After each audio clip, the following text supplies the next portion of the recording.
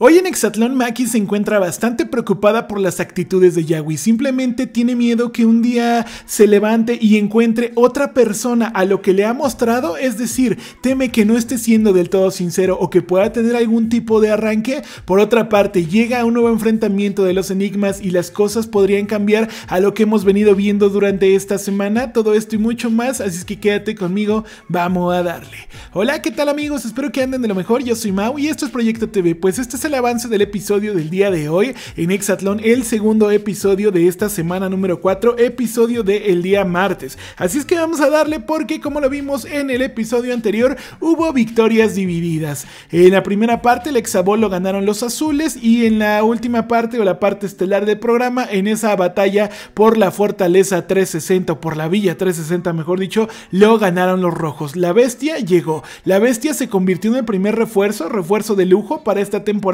refuerzo que vamos a ver cómo le viene al equipo azul, a ver si es que logra cambiar el rumbo de las cosas. Así es que en el episodio de hoy nos encontramos a una Maki hablando eh, con su equipo y diciendo que a ella le preocupa un día despertarse y ver que simplemente Yagui se ha convertido en otra persona. Pero ¿por qué dice esto? Simplemente creo que es parte de la novela que ya se está volviendo muy barata que están teniendo tanto Maki como Yagui, ¿no? El hecho de que, ay, se enojan de que le dicen que si hay una relación, que si no, que uno sí quiere, el otro no quiere. Ahora vemos a una Maki que teme por el comportamiento que ha demostrado tener Yagui, pero es que Yagui es todo menos estable, ¿no? Lo conocemos de otros realities, si tú lo has seguido en Acapulco Shore, si no lo seguiste, créeme que no te estás perdiendo de nada, porque la verdad es que las actitudes que ha tenido Yagui en otros realities han sido bastante cuestionables, siempre con pues sus problemas de ira, de ser protagonista, tal para cual con el tema de Maki en el hecho de ser protagonistas, pero ahora vemos a una Maki que está preocupada preocupada por ese aspecto. O sea,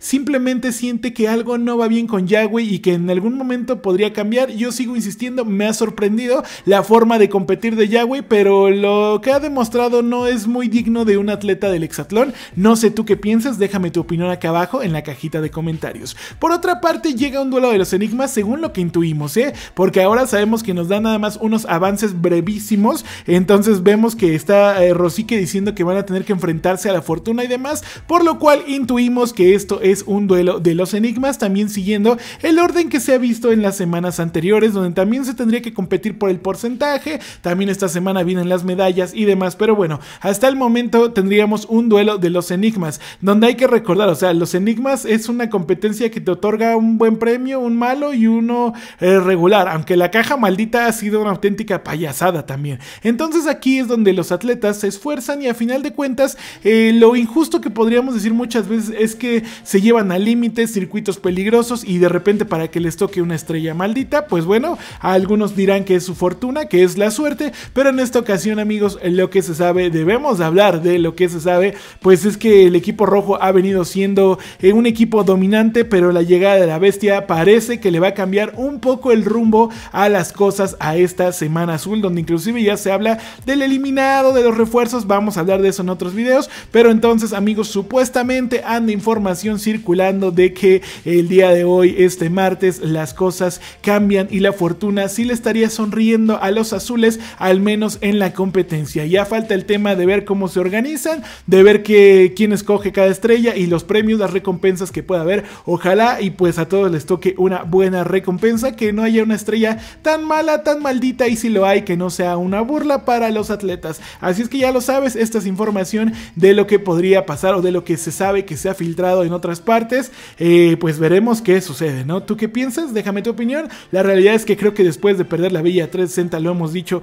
un par de ocasiones, siempre que un equipo pierde la Villa 360, en este caso los azules siguen en el campamento, pues el siguiente enfrentamiento sea colosal, sean los enigmas, lo que sea, van a querer salir a ganarlo para no sentir que se les está yendo la competencia. Y más que nada a este equipo azul que lo necesita un montón. ¿Qué opinas? Ahora sí, vámonos, que es bastante largo este yo fui Mau, esto es Proyecto TV. Te deseo que tengas un excelente día, tarde o noche. Donde quiera que andes, no olvides sonreír y nos vemos al ratito. Hasta la próxima. Bye bye.